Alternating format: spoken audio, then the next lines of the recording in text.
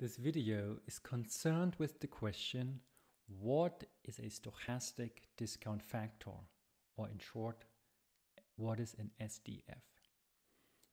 Now, simplistically speaking, from the concept of net present value or discounted cash flow methods, you might know that you have to discount future cash flows with the proper discount rate. The discount rate is made of the time value of money and a risk premium, which compensates for holding non diversifiable risk.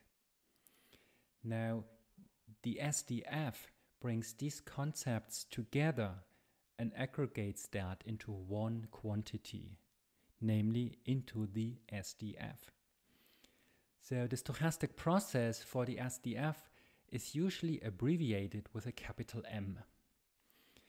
While there are several hundreds of top notch research papers on the SDF, its definition is very straightforward. We can say that a stochastic process is a stochastic discount factor if it satisfies the following three properties.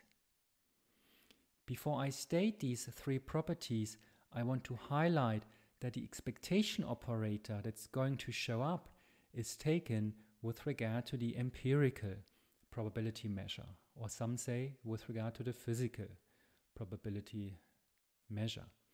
So here are the three properties of the stochastic discount factor. First, M0 is 1. Second, MT is larger than 0 for all t with probability 1. And third, the product of MT times SIT as well as the product of MTRT, they need to be local martingales. Now, being a local martingale means that the process itself follows a random walk. So its conditional forecast into the future just coincides with its current value. Now, mathematically, here's what it means it means that the conditional expectation of mt times sit, which we condition on little t, little t being smaller than cap t, that has to be equal to the current value, meaning to mt times sit. And the local martingale property for m times r implies or means that the conditional expectation as of today of m times r in the future is simply today's product, mt times rt. Now, you might wonder, why is the SDF such a big thing in finance?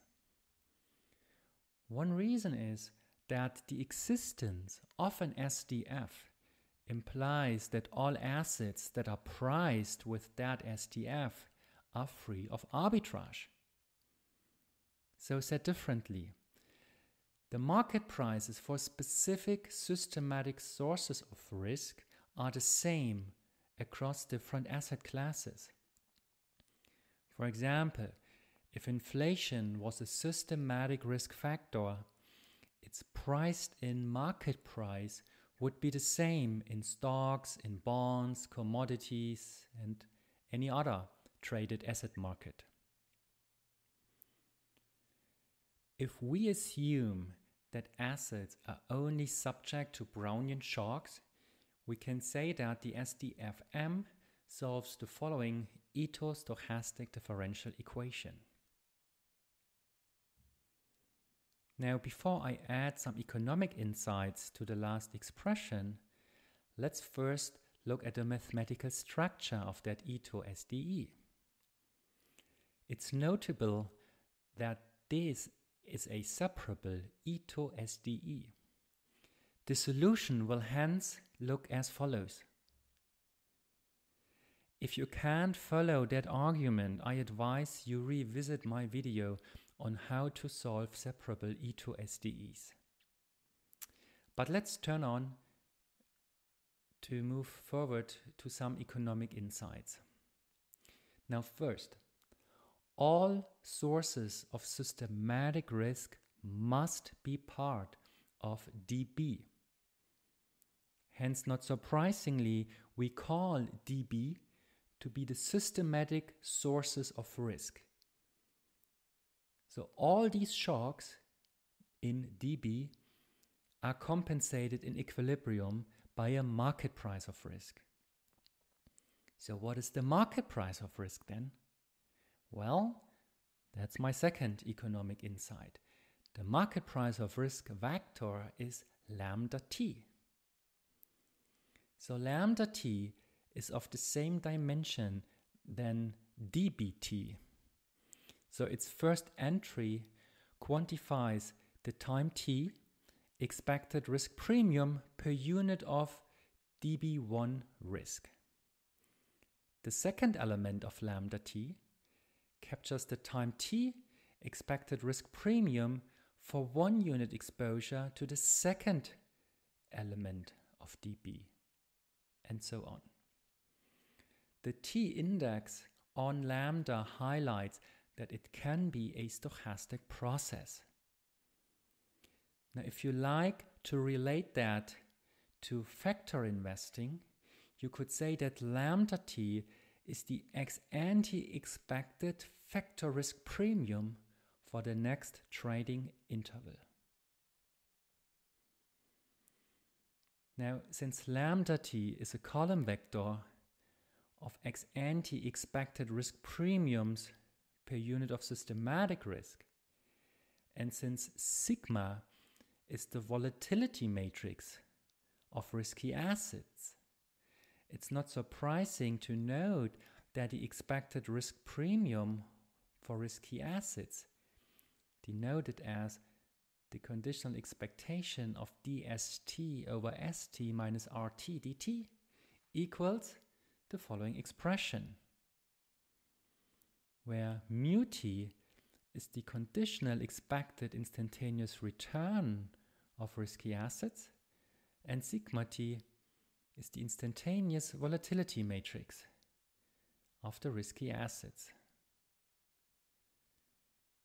So if you look at that equation again, you kind of note that the risk premiums or the expected risk premiums for the next time interval are nothing else than the market price vector for systematic risk exposure, which is the lambda t, times sigma t. And sigma t contains the amount of systematic risk that the assets contain. Now, that last equation also says that if you need expected returns for your asset allocation decision, you can determine these as the product of expected factor premiums and the amount of factor risk in each asset class. Now, that underlying rationale is the backbone of the multi billion factor investing industry. In our course here, we have already talked about how to forecast volatility. As for the factor premiums, we've also talked about how to use the Kalman filter to back out the unobserved lambda t based on imprecise sensors. The difficulty in practical work is that the literature believes right now that lambda t is time varying and small in magnitude. So, learning this value based on volatile realized factor premiums is a delicate task that is really sensitive to measurement errors. Now, so that is the perfect soup for potential p hacking, data mining, and so on. So, your takeaway should be to be cautious and to combine technical skills with dynamic asset pricing theory knowledge to steer your way through the clouded sky. Now, my third economic insight is that if an asset market consists of K non diversifiable risk factors, then you need at least K asset returns to span these K systematic risk factors. Now, these assets in aggregate need to be exposed to all of these non diversifiable risk factors. If that is the case, and only in that case, which by the way we call complete asset markets, you will be able to invert out the expected factor premiums by means of the expected asset premiums and asset volatilities. Mathematically, it means under complete market, lambda t just coincides with sigma t to the minus 1 times the expected excess return of all assets. So it's the Sharpe ratio basically. Now, if we look at that from a slightly different angle, that says that under complete asset markets, lambda t is uniquely determined conditional on knowing mu t and rt. And that makes the SDF unique. Now I want to end this video with the summary of two properties that every arbitrage-free asset market shares. I will not prove these properties in that video here, yet I will post an additional video that contains the proof. Now here I just focus on the takeaway. So the first property of an arbitrage-free asset market is that the risk-free rate at time t is equivalent to minus the conditional expectation as of time t of dmt over mt. Now, if one were to look at the proof, one would see that this condition needs to hold to ensure that the third property of the SDF holds, namely m times r is a local martingale.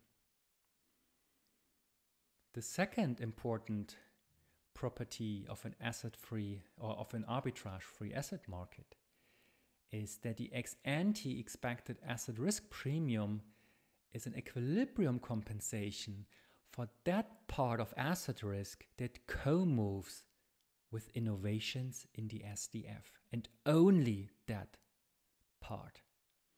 Now, mathematically, it means that the conditional expected value of ds over s minus rt dt, so that's the ex ante expected risk premium of asset i, that needs to be the same than minus the instantaneous covariation of innovations to the SDF and innovations in the stock return.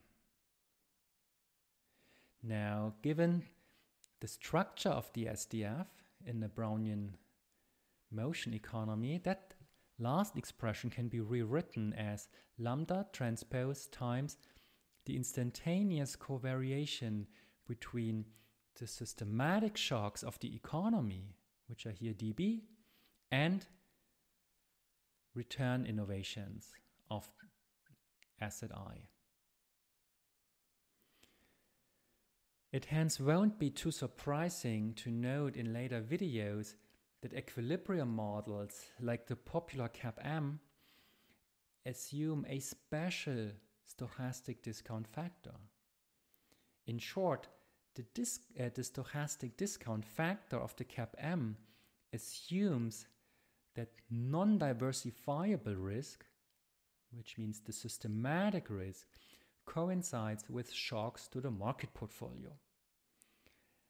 And the respective CAPM expected factor premiums will be the expected Sharpe ratio of the market portfolio. Now, if you want to see that relationship more explicitly, then I invite you to have a look at my video on the SDF and its relationship to factor models.